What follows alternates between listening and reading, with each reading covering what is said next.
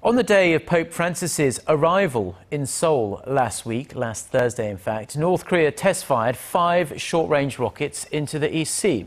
Now, new analysis suggests that they were in fact a new type of tactical missile that could potentially reach deep into South Korean territory. Our Kim Min-ji has the details. North Korea is believed to have developed a new form of tactical missile that could pose a new threat on the Korean peninsula. According to joint analysis by South Korea and the United States, the North test fired five of the new rockets last Thursday into the East Sea.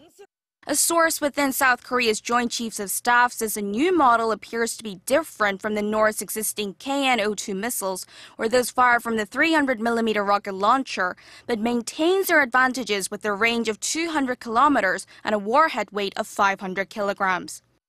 The source said the new rocket, likely to be called the KN-10, is believed to use solid fuel and can be launched from a movable launcher.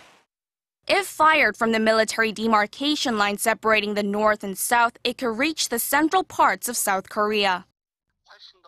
It can load many more explosives. It is a threat because it does not require advanced preparation to launch and can be fired at any time. North Korean leader Kim Jong un is also believed to have purchased a new personal plane.